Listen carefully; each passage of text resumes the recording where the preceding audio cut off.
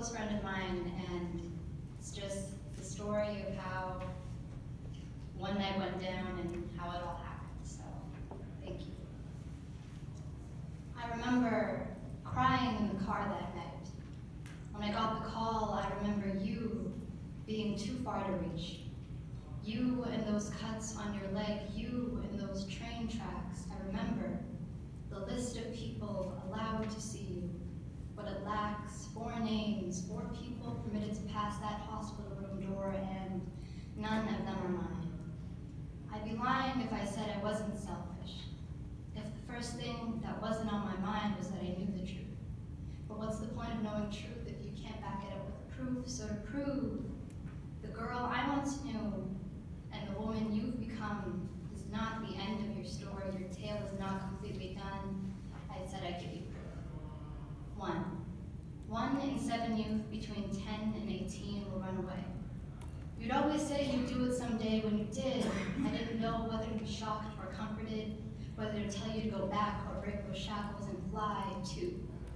38 run because of emotional abuse. They say your heart is the size of your fist.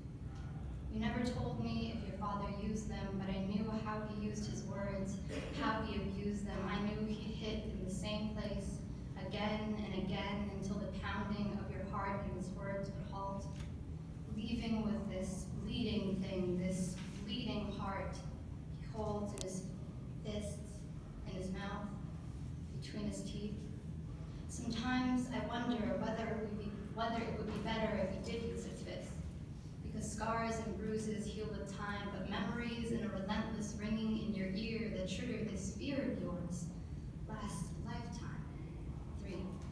60% of children reported missing as a result of running away become sex trade workers for some period of time to survive.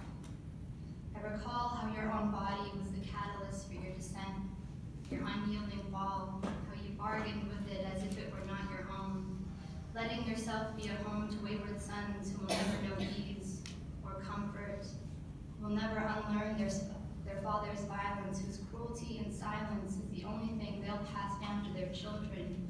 These men, these boys who treat you like they're reaching for something else, but your body was the first thing their hand landed on, who build by day and break by night, will make you bend as if you're another thing to be broken, as if you are another thing they can break.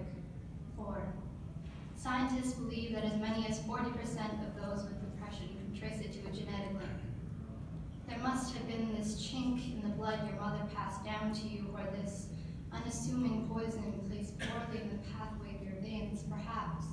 That's why you donate blood to your bedroom floor or stare at the door of your closet like a missed opportunity when I asked you what it felt like, you said. Being in the womb again, you said. Not being able to breathe, you said. Having everybody ask me, are you all right? And not knowing what was wrong enough to answer, you said. Being in the womb again and wishing you were never conceived, five. Each day there are an average of 3,470 attempts by young people. I remember how you were not one of those people that night, how you walked yourself to the hospital, how you told me not to talk to anyone about what happened, but people's opinions are like pennies, two-faced and almost worthless.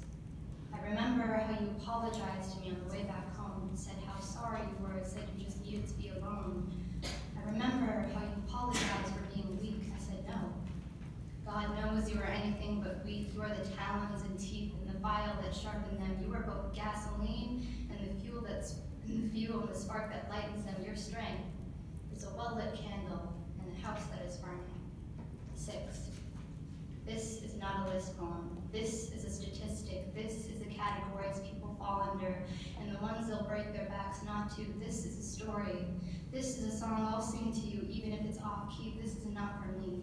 This is to show you someone is listening. Joseph Stalin stated, a million is a statistic, but one is a tragedy. Please spare me yours. I've given you one that's ended somewhat happily. But this is my warning bell. This is me breaking my shell of silence to share a tragic story that is not mine, that I'll use to shine a light upon a shadowy place, upon a, sh upon a shadow place that could easily become one you know, to show you that your daughter, your son, your brother, your sister, doesn't become another